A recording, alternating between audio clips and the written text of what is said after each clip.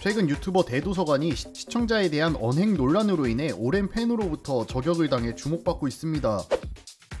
대도서관 유튜브 채널에 지난달 30일 장문의 댓글이 달렸는데요. 대도서관을 우상으로 여기던 시청자가 게임에 함께 참여하게 됐는데 대도서관으로부터 폭언을 듣고 심리적인 고통을 겪고 있다는 것이었죠. 대도서관의 시청자 NFTC는 난 고등학생 시절 도서관의 Walking Dead 영상을 시작으로 팬으로 입문했다. 당시에는 편안한 방송으로 쉴 때마다 짬을 내 대도서관 영상을 봤다. 식사 시간에는 컴퓨터 앞에서 밥을 먹으면서 영상을 보고 행복했던 기억이 있다. 라고 말문을 열었습니다. 이어 대도서관을 멀리서라도 보러 다이아 페스티벌에도 간 적이 있다. 대도서관이 책을 발매했을 때도 사서 읽었다라며 그런데 이게 이렇게 될 줄 알았다면 참여하지 않았을 것이다. 아니 이럴 줄 알았다면 대도서관의 팬이 되지 않는 것이 좋았을 것 같다. 라고 밝혔습니다. 그러면서 NFTC는 2022년 4월 26일 방송에서 비둘기인 내가 승리를 거둔 후부터 나에게 그야말로 악몽의 연속이었다. 승리 직후 대도서관이 나한테 한 발언, 난 개인적으로 폭언으로 받아들였다. 그러나 내 생각이 틀릴 수 있으니 여기에 댓글을 남겨 의견을 묻고자 한다. 라고 전했죠. 상황을 설명하자면 NFTC는 대도서관이 진행한 덕몽어스 콘텐츠에 초대돼 함께 게임을 진행한 것으로 알려졌고 당시 비둘기 역이었던 NFTC는 게임 초반부터 오리 역인 대도서관을 이겼고 이 과정에서 대도서관이 NFTC에게 일침을 가했습니다. 당시 방송 중 대도서관이 승리를 거둔 해당 시청자에게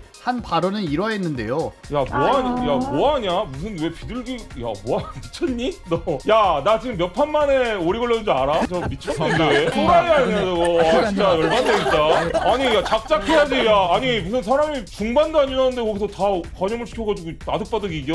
장난해 지금? 아, 야나 나 화장실 갔다 옵니다. 뒷박이야. 어나개 뒷박이네 진짜. 아, 죄송- 이에 대해 해당 시청자는 대도서관의 말이 끝난 후부터 나는 지옥에 갇힌 심정이었다. 그 순간부터는 식은땀이 흐르며 마우스 잡는 손이 떨렸다. 난 반사적으로 사과만 했다라며 화장실에 다녀온 후에도 대도서관은 나에게 지속적으로 매몰차게 말했다. 다음 판에서 따라다닐 때는 진심으로 대도서관 옷깃이라도 잡고 싶은 심정으로 쫓아다닌 거였다. 방송상으로는 괜찮아 보였는지 몰라도 전 그 이후로 어떤 플레이가 진행됐는지 기억도 나지 않는다. 라고 설명했습니다. 이어 NFTC는 실제로 방송이 끝난 후 잠을 자지도 못하며 시청자들이 남긴 댓글들을 읽었다. 일부 팬들에 의해 나에 대한 조롱이 이어졌다. 솔직히 이런 나에 대한 악평들은 신경 쓰이지 않았다.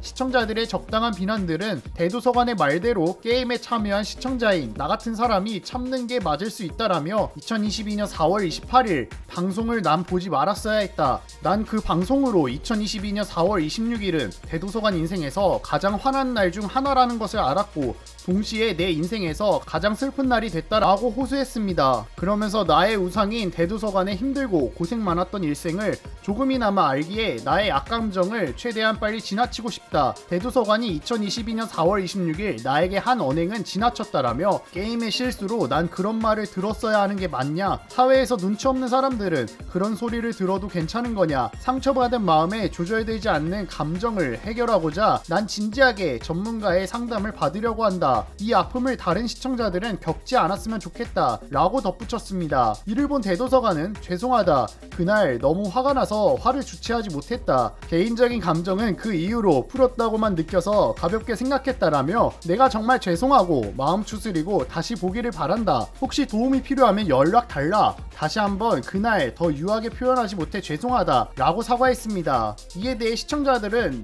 NFT님 잘못 없습니다. 아니 이 장문의 후속글에 짧게 두 줄 사가 실화냐? 나까지 속상하다 진짜. 라는 등의 반응을 보이고 있는데요. 해당 내용에 대해 시청자 여러분은 어떻게 생각하시나요?